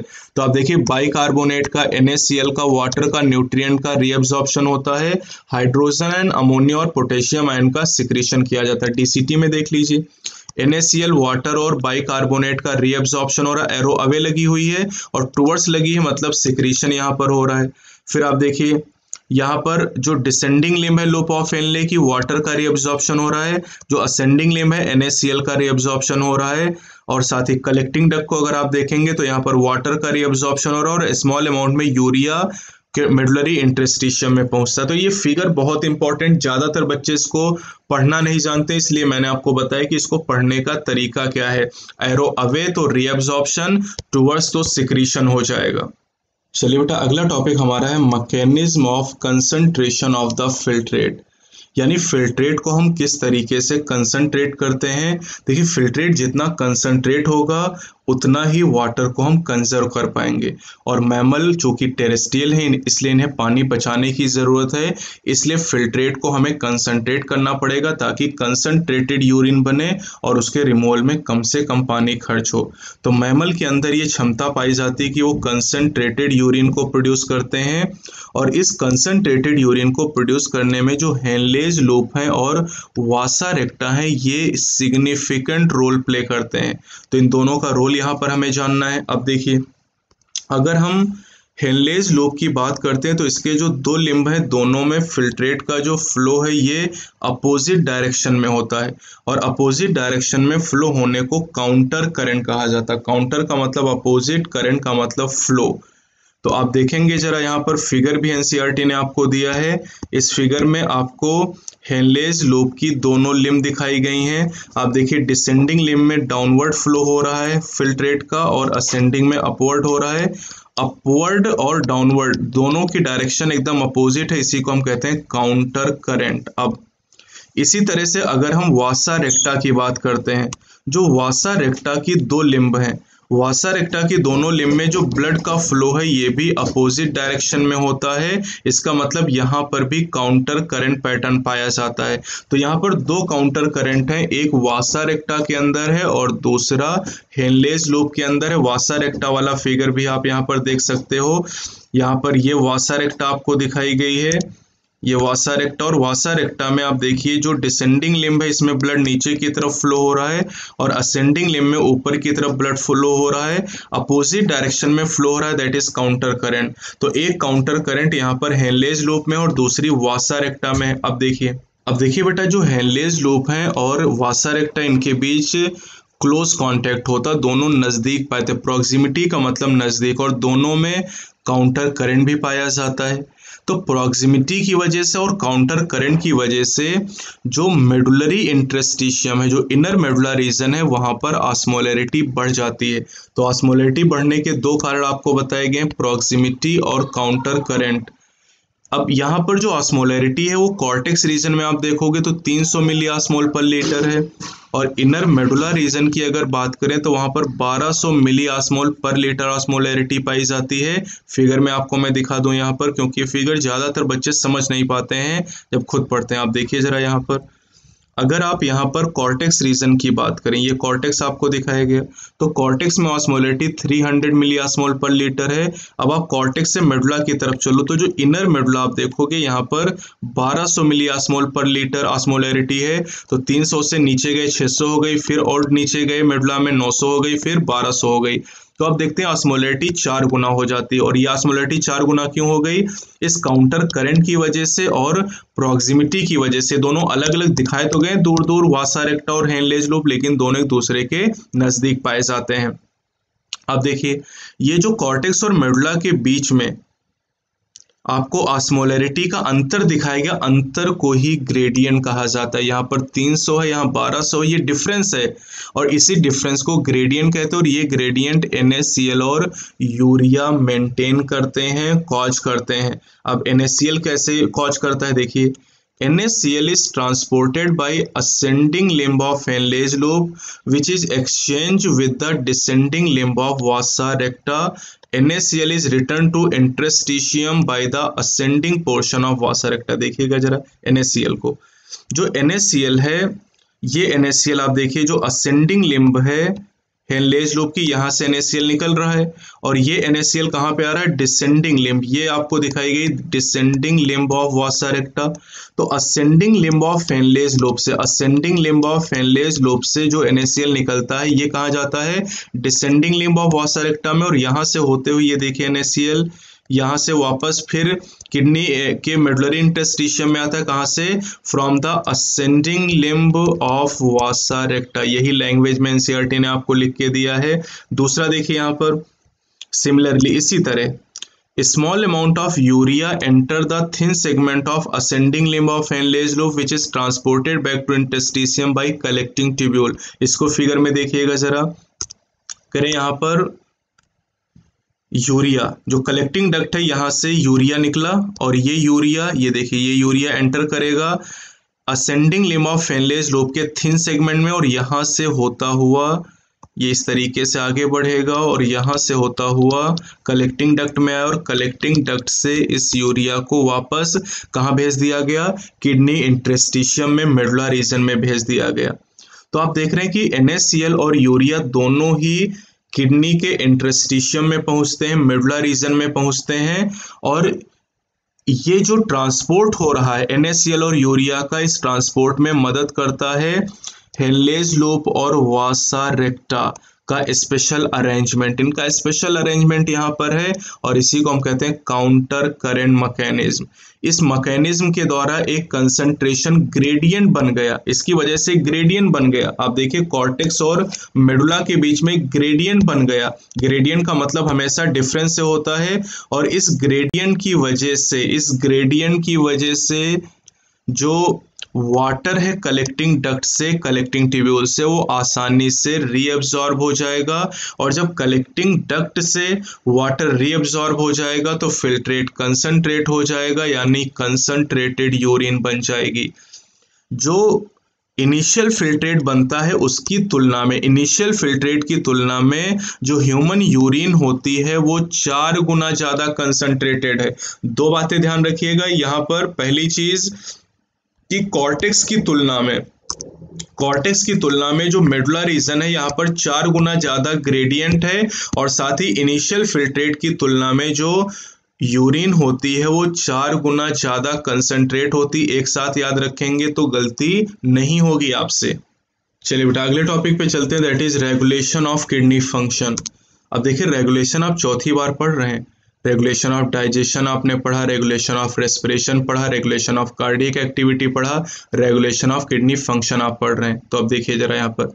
जो किडनी के फ़ंक्शन का रेगुलेशन है, ये हार्मोनल फीडबैक मैकेनिज्म के द्वारा होता है, यानी हार्मोनल कंट्रोल यहाँ पर है, और यहाँ पर तीन स्ट्रक्चर इंपॉर्टेंट है, एक हाइपोथैलमस दूसरा जेजीए और तीसरा हार्ट तो हाइपोथैलमस जेजी और हार्ट के द्वारा रेगुलेशन है, सबसे पहले हाइपोथैलमस से शुरुआत करते हैं। अब देखिए, हमारी बॉडी में कुछ आसमो रिसेप्टर पाए जाते हैं। आसमो रिसेप्टर महसूस कर सकते हैं या ये रिसेप्टर एक्टिवेट होते हैं अगर ब्लड वॉल्यूम में कोई चेंज हो बॉडी फ्लूड वॉल्यूम में कोई चेंज हो या आयनिक कंसंट्रेशन में कोई चेंज होगा तो ऑस्मो रिसेप्टर एक्टिवेट हो जाएँगे जैसे excessive loss of fluid from the body अगर हमारी बॉडी से यूरिन के द्वारा ज़्यादा मात्रा में वाटर का लॉस हो रहा है तो ऑस्मो रिसेप्टर एक्टिवेट हो जाएँगे और इनके एक्टिवेट होने से हाइपोथैलमस स्टिमुलेट हो जाएगा और ये रिलीज़ करेगा एडीएच नाम का हार्मोन या वैसोप्रेशन फ्रॉम द न्यूरोहाइपोफाइसिस जिसे पोस्टीरियर पिट्यूटरी कहते हैं। तो हाइपोथैलमस पोस्टीरियर पिट्यूटरी से एडीएच या वैसोप्रेशन को रिलीज़ कराएगा और जो एडीएच हार्मोन है एडीएच हेल्प करेगा वाटर को रीअब्जॉर्ब करने में from later part of the tubule बेटा, यहाँ पर लेटर पार्ट का मतलब है डीसीटी रीजन से और कलेक्टिंग डक से, क्योंकि अभी मैंने पढ़ाया था डीसीटी में कंडीशनल रीअब्जॉर्प्शन वहाँ पर कंडीशन क्या मैंने बताई थी? हार्मोन की कंडीशन है, और जब एडीएच की मदद से वाटर रीअब्जॉर्ब हो जाएगा तो वाटर का लॉस नहीं होगा, यानी डायूरेसिस को रोक दिया जाएगा। डायूरेसिस का मतलब होता है ज़्यादा मात्रा में यूरिन के साथ वाटर का लॉस होना। तो एडीएच डायूरेसिस को रोकता है। अब जब एडीएच वाटर को रीअब्जॉर्ब करेगा तो इसकी वजह से जो ब्लड वॉल्यूम है, ये इंक्रीज हो जाएगा बॉडी फ्लूड वॉल्यूम इंक्रीज होगा, और जब वॉल्यूम बढ़ेगा तो आसमो रिसेप्टर स्विच ऑफ़ हो जाएँगे, और आसमो रिसेप्टर स्विच ऑफ़ होंगे तो एडीएच का जो सिक्रीशन है, वो सप्रेस कर दिया जाएगा, और फीडबैक कंप्लीट हो जाएगी। साथ ही साथ ADH hormone constrictory effect cause करता है ब्लड वेसल के ऊपर, यानी ब्लड वेसल को कॉन्स्ट्रिक्ट करता है। अब जब ब्लड वेसल को सिकोड़ दिया जाएगा तो ब्लड वेसल के सिकुड़ने की वजह से कॉन्स्ट्रिक्शन की वजह से ब्लड प्रेशर बढ़ेगा और ब्लड प्रेशर बढ़ने की वजह से ग्लोमेरुलर ब्लड फ्लो बढ़ जाएगा और इसकी वजह से जीएफआर इंक्रीज करेगा। तो जीएफआर पे भी एडीएच का यहाँ पर इंपॉर्टेंट इफ़ेक्ट होता है। अब आते हैं दूसरे मकैनिज्म पे दैट इज़ जेजीए जेजीए की अगर हम बात करते हैं तो जेजीए मैंने आपको बता ही दिया है कैसे बनता है। अब, अगर ग्लोमेरुलर ब्लड फ्लो कम हो जाए, या ग्लोमेरुलर ब्लड प्रेशर कम हो जाए, या जीएफआर कम हो जाए तो जीएफआर के कम होने से जेजी सेल एक्टिवेट हो जाएँगी, और ये रेनिन नाम का हार्मोन रिलीज़ करेंगी, जो एंजियोटेंसिनोजन नाम की प्रोटीन को। एंजियोटेंसिनोजन प्रोटीन कहाँ पे है? ब्लड में है। इस एंजियोटेंसिनोजन को रेनिन पहले एंजियोटेंसिन वन में कन्वर्ट करेगा और फिर एंजियोटेंसिन टू में चेंज करेगा। अब जो एंजियोटेंसिन टू है, ये पावरफुल, बहुत अच्छे से याद करिएगा, वैसो कॉन्स्ट्रिक्टर है, जो ग्लोमेरुलर ब्लड प्रेशर को इंक्रीज करता है और इस तरीके से जीएफआर बढ़ जाता है। अब एंजियोटेंसिन टू एड्रिनल कॉर्टेक्स को भी एक्टिवेट करता है एल्डोस्ट्रॉन को रिलीज़ करने के लिए। अब जो एल्डोस्ट्रॉन है, ये रीअब्जॉर्प्शन सोडियम आयन और वाटर का कराता है डिस्टल पार्ट ऑफ़ ट्यूब्यूल यानी डीसीटी रीजन से। और ये भी कंडीशनल रीअब्जॉर्प्शन क्योंकि यहाँ पर एल्डोस्ट्रॉन की ज़रूरत पड़ती है। और इस तरीके से जब सोडियम और वाटर का रीअब्जॉर्प्शन होता है तो ब्लड प्रेशर बढ़ जाता है जीएफआर बढ़ जाता है, और जीएफआर कम हुआ था तो इस तरीके से बढ़ गया जीएफआर इस कॉम्प्लेक्स मैकेनिज्म को कहा जाता है रेनिन एंजियोटेंसिन मकैनिज्म अब आते हैं हार्ट के ऊपर। हार्ट की अगर बात करें तो अगर ब्लड फ्लो बढ़ता है तो ब्लड फ्लो बढ़ने का मतलब या ब्लड प्रेशर बढ़ने का मतलब है कि हर्ट के एट्रिया में जो ब्लड आ रहा है, अगर उसका प्रेशर ज़्यादा है तो हर्ट के एट्रिया से atrial natri natriuretic factor ANF नाम का हार्मोन सिक्रीट होता है। एएनएफ वैसो डायलेशन करता है, ये ब्लड वेसल को डायलेट करता है एएनएफ ब्लड वेसल को फैला देता है, जिससे ब्लड प्रेशर डिक्रीज हो जाता है। तो अगर ब्लड प्रेशर बढ़ता है तो एएनएफ उसे कम कर देता है। और जो एएनएफ मैकेनिज्म है, अगर आप देखें तो ANF mechanism renin angiotensin mechanism के अगेंस्ट काम करती है। आप ऐसा भी कह सकते हो कि जो रेनिन हार्मोन है एल्डोस्टेरॉन है, वो ब्लड प्रेशर को बढ़ाते हैं और ए ब्लड प्रेशर को कम करने का काम करता है। यानी एल्डोस्टेरॉन और एएनएफ एक दूसरे के एंटागोनिस्टिक हैं। दो हार्मोन जो एक दूसरे के अपोजिट वर्क करते हैं, उन्हें एंटागोनिस्टिक कहा जाता है और जिन हार्मोन का फ़ंक्शन सेम होता है, उन्हें सिनर्जिस्टिक के नाम से जाना जाता है। चलिए बेटा नेक्स्ट टॉपिक यहाँ पर है दैट इज़ मेक्चुरेशन मिक्चुरेशन का मतलब होता है बॉडी से यूरिन को बाहर निकालना। जैसे फिसिस का रिमूवल डेफिकेशन कहलाता, वैसे यूरिन का रिमूवल मिक्चुरेशन या यूरिनेशन के नाम से जाना जाता है। अब आपने देखा जो हमारी किडनी के 20 लाख नेफ्रॉन है, ये यूरिन का फॉर्मेशन करते हैं और इस यूरिन को यूरेटर के द्वारा पहुँचा दिया जाता है यूरिनरी ब्लैडर में और यूरिनरी ब्लैडर के अंदर इसे स्टोर किया जाता है। आपसे नीट में लास्ट ईयर ही ये सवाल पूछा गया था कि यूरिन का स्टोरेज कहाँ होता है? यूरिनरी ब्लैडर में और तब तक इसे स्टोर किया जाएगा जब तक central nervous system voluntary signal ना दे। तो सिग्नल की शुरुआत कैसे होती है? सिग्नल इज़ इनिशिएटेड यानी यूरिन रिमूवल का जो सिग्नल है, वो यूरिनरी ब्लैडर में जो स्ट्रेच रिसेप्टर पाए जाते हैं, उनमें स्ट्रेचिंग की वजह से होता है। यानी यूरिनरी ब्लैडर की जो वॉल है, उसमें स्ट्रिचिंग होती है। और स्ट्रिचिंग क्यों होती? है क्योंकि जब उसमें यूरिन भर जाती है, ये एक ब्लैडर बैलून की तरह का स्ट्रक्चर है। इसमें यूरिन भरती रहती है और जब यूरिन भरती है तो इसकी दीवार में खिंचाव होता है। और जब खिंचाव होता है तो यूरिनी ब्लैडर की वॉल में जो स्ट्रेच रिसेप्टर होते हैं on the wall of urinary bladder send signal to CNS ये सीएनएस को संदेश भेजते हैं और तब सीएनएस मोटर मैसेज देता सीएनएस से जो संदेश आते हैं, उन्हें मोटर कहते हैं और सीएनएस को जो संदेश जाते हैं, उन्हें सेंसरी कहा जाता है। तो CNS N S passes on motor message ये मोटर संदेश देता है यूरिनी ब्लैडर को to initiate contraction of smooth muscle of the bladder जो ब्लैडर की स्मूथ मसल होती है, उन्हें डेट्रूसर मसल के नाम से जाना जाता है। That is detrusor muscle detrusor muscle और साथ ही साथ रिलैक्सेशन ऑफ़ यूरिथ्रल स्फिंक्टर यानी दो चीज़ें एक साथ होंगी। Contraction of smooth muscle of urinary bladder and relaxation of urethral sphincter और इस तरीके से यूरिन को रिलीज़ कर दिया जाएगा। और यहाँ पर डेफिनेशन आपको दी गई है the process of release of urine is called micturition और जिस रिफ्लेक्स एक्शन के द्वारा इसे कंट्रोल किया जाता है that is called micturition reflex जैसे ओमिटिंग एक रिफ्लेक्स एक्शन था, वैसे यहाँ पर मिक्चुरेशन भी एक रिफ्लेक्स एक्शन है। अब, अगर एडल्ट ह्यूमन की बात करें तो एक से डेढ़ लीटर यूरिन को पर डे एक्सक्रीट किया जाता है और ये जो यूरिन है, ये लाइट येलो कलर का वाटरी फ्लूड है, जो स्लाइटली एसिडिक होता है, इसका पीएच सिक्स होता है और और साथ ही यूरिन में करेक्टरिस्टिक ऑर्डर यानी दुर्गंध होती है करेक्टरिस्टिक ऑर्डर पाई जाती है। अब एक एवरेज अगर हम यहाँ पर देखें तो हर दिन जो एक से डेढ़ लीटर यूरियन हम पास आउट करते हैं, उससे 25 से 30 ग्राम यूरिया को बॉडी से एक्सक्रीट किया जाता है। और यूरिन पास करने का हमारा एम क्या है? यूरिया का रिमूवल क्योंकि यूरिया नाइट्रोजनस वेस्ट है और इसे बॉडी से रिमूव करना है। तो 25 से 30 ग्राम यूरिया को डेली बॉडी से रिमूव किया जाता है। अब कई सारी बीमारियाँ हैं जो यूरिन के कैरेक्टर को चेंज कर सकती हैं। और यूरिन की एनालिसिस हम क्लिनिकल डायग्नोसिस में भी करते हैं। यानी बीमारियों का पता लगाने के लिए हमने क्या का यूज़ किया है? हमने स्टेथोस्कोप का यूज़ किया है ईसीजी का यूज़ किया है स्पायरोमीटर का यूज़ किया है, और साथ ही हम एनालिसिस ऑफ़ यूरिन भी कर सकते हैं बीमारियों का पता लगाने के लिए। कई ऐसे मेटाबॉलिक डिसऑर्डर हैं, साथ ही साथ माल फंक्शनिंग ऑफ़ किडनी अगर किडनी सही तरीके से काम नहीं करती है तो हम एनालिसिस ऑफ़ यूरिन के द्वारा पता लगा सकते हैं। जैसे नॉर्मली किसी पर्सन की यूरिन में ग्लूकोज नहीं होता और कीटोन बॉडीज नहीं होती हैं, लेकिन अगर किसी पर्सन की यूरिन में ग्लूकोज है तो इसे ग्लाइकोसूरिया कहते हैं, और कीटोन बॉडीज तो कीटोन्यूरिया कहा जाता है। अगर किसी पर्सन के यूरिन में ग्लूकोज और कीटोन बॉडीज हैं तो ये इंडिकेटिव है। डायबिटीज़ मिलिटस का, यानी उसको शुगर की बीमारी हो गई है। डायबिटीज़ मिलिटस हो गया है। तो इस तरह से हम बीमारियों का पता भी लगा सकते हैं। बेटा, अगला टॉपिक हमारा है role of other organs in excretion यानी किडनी के अलावा दूसरे ऑर्गन का रोल भी हमें जानना है। किडनी तो एक्सक्रीशन करती ही है यूरिया का, लेकिन इसके अलावा लंग लीवर स्किन ये भी एक्सक्रीटरी वेस्ट को एलिमिनेट करने में इंपॉर्टेंट रोल प्ले करते हैं। किस तरीके से देखिएगा? जैसे हम बात करते हैं लंग्स के बारे में।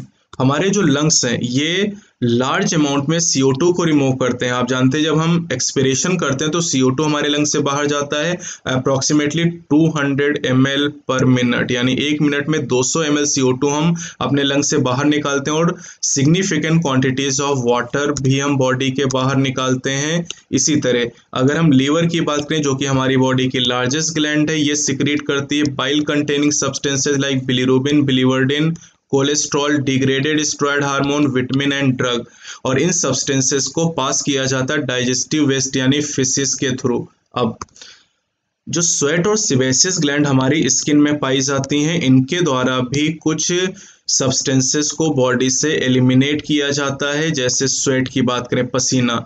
स्वेट का प्रोडक्शन स्वेट ग्लैंड के द्वारा किया जाता है और पसीना एक वाटरी फ्लूड है, जिसमें NaCl small amount of urea और लैक्टिक एसिड होते हैं। वैसे पसीना निकलने का जो प्राइमरी फ़ंक्शन है, वो है facilitate cooling effect on the body ये हमारी बॉडी सरफेस को ठंडा रखता है, लेकिन जो पसीना निकलता है, उस पसीने के साथ रिमूवल होता है। किस, किन किन चीज़ों का? एनएससीएल का स्मॉल अमाउंट ऑफ़ यूरिया और लैक्टिक एसिड का रिमूवल भी हो जाता है। इसी तरह, अगर हमारी स्किन में पाई जाने वाली सिबेसियस ग्लैंड की बात की जाए तो सिबेसियस ग्लैंड रिमूव करते हैं स्टिरॉल का हाइड्रोकार्बन का वैक्सेस का सीबम के थ्रू सिबेसियस ग्लैंड के सिक्रीशन को सीबम कहा जाता है और ये जो सीबम है, ये प्रोटेक्टिव ऑयली कवरिंग बनाता हमारी स्किन के ऊपर। लेकिन ये स्ट्रॉल हाइड्रोकार्बन और वैक्सेस का रिमूवल भी करता है। साथ ही साथ, हम स्लाइवा के द्वारा भी हम स्मॉल अमाउंट में नाइट्रोजनस वेस्ट को बॉडी से एलिमिनेट करते हैं। कोड एक मैं आपको बता रहा हूँ, इसको आप ध्यान रखेंगे स्किल्स आप याद कर सकते हैं। जितने भी ऑर्गन एक्सक्रीशन का काम करते हैं, उनको आप स्किल से याद कर सकते हैं। जैसे एस फॉर यहाँ पर हो जाएगा स्किन के फॉर किडनी आई फॉर की अगर हम बात करें हैं तो इंटेस्टाइन हो जाएगी एल फॉर लंग्स हो जाएगा एल फॉर लीवर हो जाएगा, और यहाँ पर जो ऐसा ही स्लाइवा हो जाएगा। चलिए बेटा, इस चैप्टर का सबसे लास्ट टॉपिक है disorders of the excretory system और यहाँ से नीट में लगातार सवाल पूछा जाता है। तो सबसे पहले यहाँ पर हम देखते हैं कि अगर किडनी सही तरीके से काम नहीं करती हैं तो हमारे ब्लड में यूरिया इकट्ठा होने लगता है, इस कंडीशन को यूरीमिया कहा जाता है। यूरीमिया कंडीशन बहुत ही हार्मफुल कंडीशन और इसकी वजह से किडनी फेलियर हो सकता है या किडनी फेलियर हो सकता है। अब ऐसे पेशेंट जिनमें किडनी सही तरीके से काम नहीं कर, करती उनमें यूरिया को बॉडी से रिमूव करने के लिए एक प्रोसेस का यूज़ करते हैं जिसे हीमोडायलिसिस या आपने डायलिसिस के नाम से सुना होगा।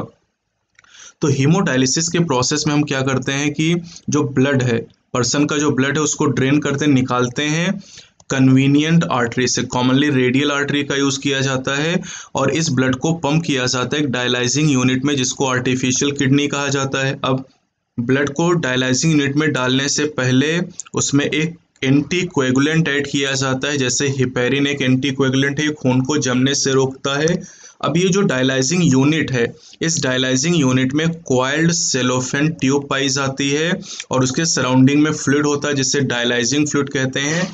और डायलाइजिंग फ्लूड का कंपोजिशन सेम प्लाज्मा की तरह होता है एक्सेप्ट द नाइट्रोजनस बेस मतलब आप ये कह सकते हैं कि जो डायलाइजिंग फ्लूड है dialysing fluid is equal to plasma minus nitrogenous waste plasma minus nitrogenous waste ये फॉर्मूला बना सकते हो।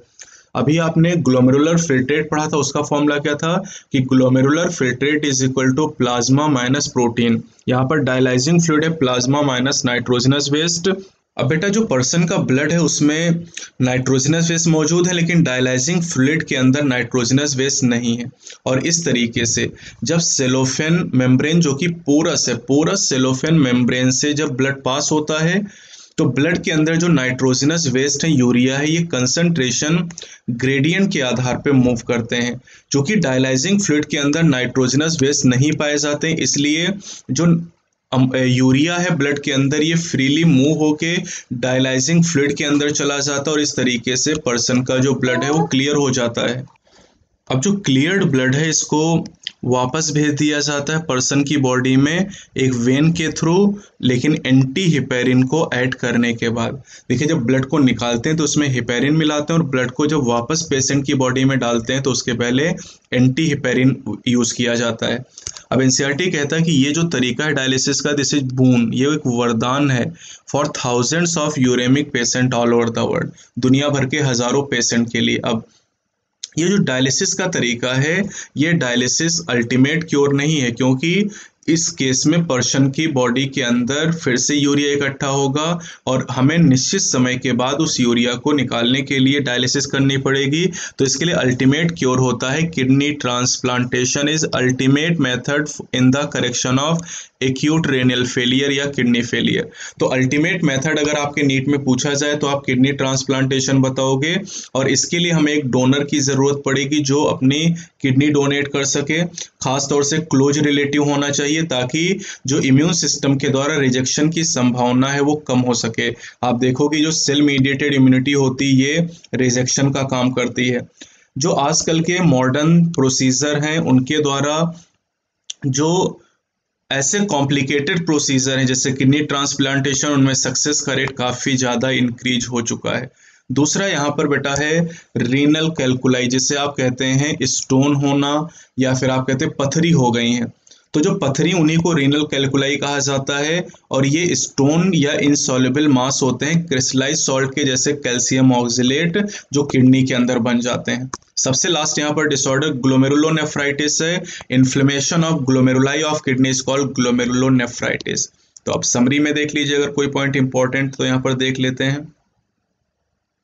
यहाँ पर देखिए, एक चीज़ तो इंपॉर्टेंट है कि nature of nitrogenous waste formed and their excretion vary among animal mainly depending on the habitat यानी अवेलेबिलिटी ऑफ़ वाटर यानी किस तरह का नाइट्रोजनस वेस्ट और किस तरह का एक्सक्रीशन एनिमल में होगा, ये हैबिटाट पर निर्भर करता है। आपने देखा कि जो एनिमल ज़्यादातर पानी के अंदर पाए जाते हैं, वो अमोनिया का रिमूवल करते हैं। टेरेस्ट्रियल एडोप्टेशन में यूरिया और यूरिक एसिड का रिमूवल होता है। बाकी यहाँ पर कोई पॉइंट एक पॉइंट यहाँ पर important filtration is a non selective process ये इंपॉर्टेंट पॉइंट है, आप ध्यान रखिएगा यहाँ पर। बाकी कोई नया पॉइंट अगर मुझे मिलता है यहाँ पर तो मैं आपको बता देता हूँ। जैसे यहाँ पर एनसीईआरटी ने एक चीज़ लिखी vasa recta capillaries parallel to Henle's loop. इस बात को आप ध्यान रख सकते हैं। चलिए, अब कुछ पॉइंट यहाँ पर दिए गए आपको ट्रू फॉल्स बताना है। जैसे तीसरा क्वेश्चन जो यहाँ पर दिया गया micturition carried out a reflex एकदम सही, जिसे मैक्चुरेशन रिफ्लेक्स कहते हैं। ADH help in water elimination making the urine hypotonic ये गलत है, क्योंकि एडीएच वाटर को कंजर्व करता है और यूरिन को हाइपोटोनिक बनाता है। Protein free fluid is filter from blood plasma into the Bowman capsule बिल्कुल सही प्रोटीन फ्री फ्लूड होता है। जो बॉमेन कैप्सूल के कैविटी में पहुँचता है। Henle's loop play an important role in concentrating the urine ये भी सही है। हेनलेज लूप काउंटर करंट में काम करता है और यूरिन को कंसनट्रेट करता है। Glucose is actively reabsorb in the PCT एकदम सही है। अब यहाँ पर एक मैच द कॉलम आपको दिया गया, इसको भी कर लीजिए अमोनोटेलिज्म अमोनोटेलिज्म की अगर बात करें तो अमोनोटेलिज्म कहाँ पर है? बोनीफिसेज में। बॉमेन कैप्सूल की अगर बात करते हैं तो बॉमेन कैप्सूल रेनल टिब्यूल से मैच कर दीजिए आप। मिक्चुरेशन की बात करें तो मिक्चुरेशन का संबंध कहाँ से है? यूरिनरी ब्लैडर यूरिकोटेलिज्म बर्ड से आप रिलेट कर दीजिए। एडीएच वाटर रीअब्जॉर्प्शन का काम करेगा तो ये आप मैच करवा सकते हैं यहाँ पर। चलिए, अब देखिए, यहाँ पर भी कुछ क्वेश्चन दिए गए हैं। Name the following a chordate animal having flame cell as excretory structure तो इसका आपने पढ़ा था दैट इज़ एम्फियोक्सस या ब्रेंकियोस्टोमा एक कॉर्डेट है, जिसमें फ्लेम सेल पाई जाती हैं। Cortical portion projecting between the medullary pyramid in human kidney इन्हें कहा जाता है column of Bertini column of Bertini हो जाएगा ये। A loop of capillary running parallel to Henle's loop that is named as vasa recta ये vasa recta हो जाएगा अब fill in the gap ये भी आप कर सकते हो अब आसानी से मैं आपको करवा दे रहा हूँ ठीक है वैसे आपको खुद करना चाहिए ascending limb of Henle's loop is dash dash to water whereas descending limb is चलिए अब इसमें फिल करना है जो ascending limb Henle's loop की होती है ascending limb के बारे में कह रहा तो ascending limb is impermeable to water ascending limb impermeable होती है और जो डिसेंडिंग लिम होती है वाटर के लिए परमिएबल होती है। Reabsorption of water from distal part of tubule is facilitated by अब डिस डिस्टल पार्ट का मतलब डीसीटी से वाटर का रीअब्सॉर्प्शन कौन कराता है? एडीएच कराता है। एडीएच लिख दोगे। Dialysis fluid contain all the constituent of plasma except तो एक्सेप्ट आप लिखोगे नाइट्रोजनस वेस्ट या यूरिया आप लिख सकते हो। A healthy adult human excrete on an average कितना यूरिया? 25 से 30 ग्राम यूरिया का रिमूवल होता है पर डे तो इस तरीके से बेटा आप देखिए कि जितने भी क्वेश्चन है इजिली आप कर सकते हैं अगर आपने थ्योरी को सही तरीके से समझ लिया है। अब बेटा, आज शाम को इसी चैप्टर के हम 75 फाइव इंपॉर्टेंट क्वेश्चन करेंगे और जितनी भी थ्योरी मैंने आपको पढ़ाई है, इस थ्योरी से वो क्वेश्चन आप कर लेंगे। हो सकता है कि कुछ टॉपिक बाहर से भी हम करें। तो ये एनसीईआरटी बेस्ड पूरी थ्योरी मैंने आपको पढ़ाई और हर एक लाइन मैंने कवर की यहाँ पर। करीब एक घंटे या सत्तर मिनट का टाइम हमें यहाँ पर लगा है, जहाँ पर हमने पूरा चैप्टर कवर कर लिया है। अगर आप इस चैप्टर को डिटेल में करना चाहते हैं तो इसके लिए हमारे क्लासरूम बायोलॉजी वीडियो लेक्चर को आप परचेस कर सकते हैं, जिनकी ऑनलाइन स्ट्रीमिंग की कॉस्ट पच्चीस हज़ार रुपये है, लेकिन नीट 2020 के लिए आपको केवल तीन हज़ार रुपये में दिए जा रहे हैं। यानी तीन हज़ार रुपये में आपको क्लासरूम के वीडियो लेक्चर प्रोवाइड किए जाएँगे और ये वीडियो लेक्चर इतने पावरफुल हैं कि ना केवल इससे आपका नीट का स्कोर बढ़ेगा, बल्कि आपका सिलेक्शन भी होगा और आपकी रैंक भी बहुत बेहतर आएगी। तो आप जल्दी से जल्दी इन वीडियो लेक्चर को लेके अपनी तैयारी को और अच्छी तरीके से बूस्टअप कर सकते हैं। आप चाहें तो एक यूनिट भी परचेस कर सकते हैं केवल पाँच में। जैसे ह्यूमन फिजियोलॉजी है, इसके सात चैप्टर हैं। पाँच सौ रुपये में आप पूरी यूनिट परचेस कर सकते हैं और अपनी नीट की तैयारी को और बेहतर कर सकते हैं। तो बेटा, आज की इस वीडियो के लिए इतना ही। शाम को पाँच बजे हम फिर मिलेंगे, जहाँ पर इसी चैप्टर के क्वेश्चन को हम डिस्कस करेंगे। तो आप पढ़ाई करते रहिए, कोई भी डाउट है तो कमेंट सेशन में मुझे ज़रूर बताइएगा। उनको मैं किसी ना किसी वीडियो में ज़रूर एक्सप्लेन करूँगा और शाम को हम पाँच बजे फिर से मिलेंगे। तब तक के लिए बेस्ट ऑफ़ लक